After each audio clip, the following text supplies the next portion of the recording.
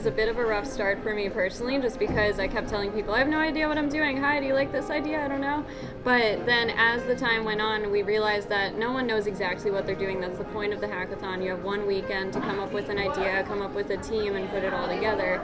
So that process was an incredible experience. My name is Trey. This is Nina. We have Ivanka, Inder, Ansh, and Krissa, and we are FarmSpeak. We are really a platform and we are a nonprofit organization connecting hospitals to clinics.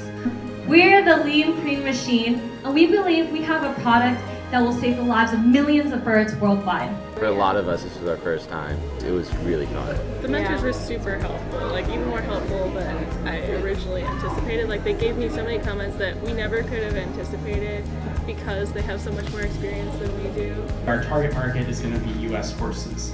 Initially, our strategy is to partner with local racetracks, teaming up with the vets, and making this part of our pre-race checklist. That first night, I was very drawn Aww. to her energy, her passion, and I loved her enthusiasm, and I think that's just a critical component you need in a successful team. We really just wanted to do our best. We really felt like we had put our best effort out there, and that everyone had really done something that showcased their strength. So I felt like, you know what, like, win or not win, we put our best out there. The most innovative Lean Green Machine. Best market-ready solution. FarmSpeak.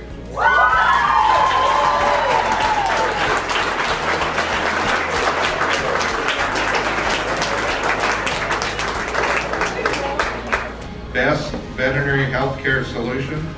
Stay on track.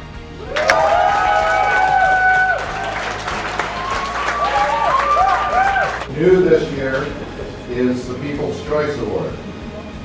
And the winning team is Lean Green Machine. Yeah!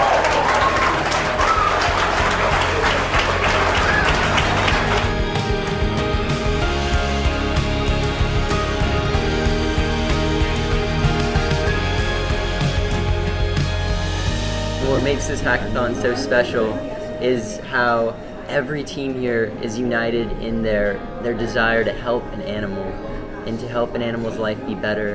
And I really noticed that energy and that compassionate spirit here that really made a difference.